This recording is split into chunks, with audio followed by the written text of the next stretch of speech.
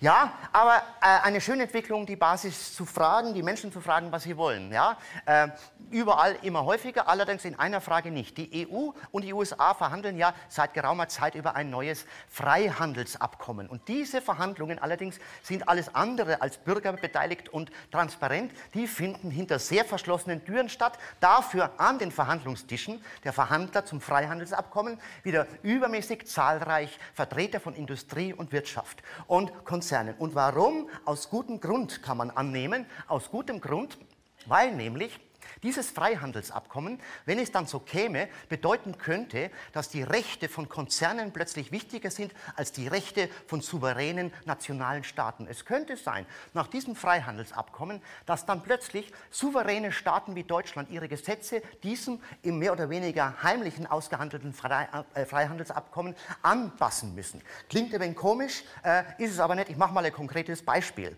Zum Beispiel, die amerikanische Fleischindustrie produziert auch viel Hühnerfleisch und dieses Hühnerfleisch wird dann oft in, in so eine, in ein Chlorbad gelegt, um die Keime abzutöten. Dieses Chlorfleisch dürfte allerdings in Deutschland zum Beispiel nicht verkauft werden. Ich nehme mal an, aus ja, wegen gesundheitlicher Bedenken. Wenn dieses Freihandelsabkommen dann so käme, wie es jetzt manche äh, befürchten und sagen, dann allerdings könnte die amerikanische Fleischindustrie einen Staat wie Deutschland verklagen auf Schadensersatz wegen entgangener Profite.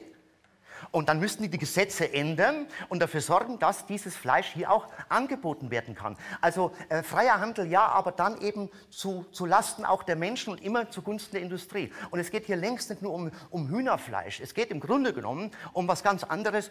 Viele sagen, es geht um eine völlig neue Weltwirtschaftsordnung. Und das wird jetzt gerade mal so nebenbei, während wir uns mit irgendwelchem Mautquatsch beschäftigen, wird das so mal so ganz nebenbei behandelt. Investorenrechte vor den Rechten souveräner nationaler Staaten. Und ich finde, da könnte man doch mal ein paar Informationen mehr verlangen.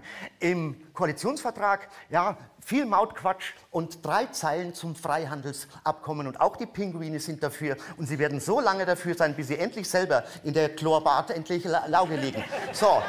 Äh,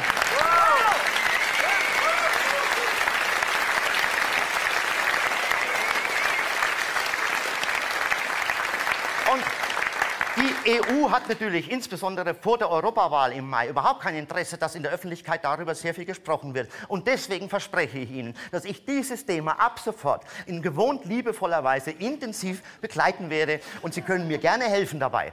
Meine Damen und Herren, der nächste Gast.